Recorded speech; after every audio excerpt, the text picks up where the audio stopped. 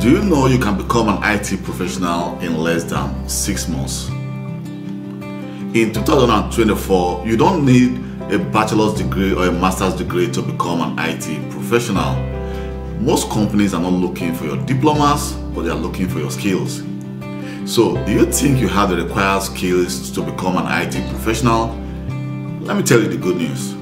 You don't need to spend four years or five years of your time trying to obtain a bachelor or master's degree in computer science. What most companies need is the required skills you have as an IT system administrator, as a programmer, as a, as a software develop, developer, as a system engineer, Azure engineer, just to become, just to work for their company.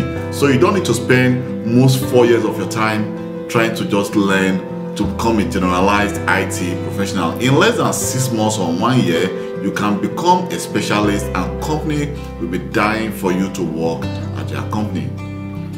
So, do you think you want to know all the requirements you need to work as an IT professional in a company in less than six months or between six months to one year? Follow me on social media, inbox me, and let me tell you the skills you actually need to start working for any company of your choice.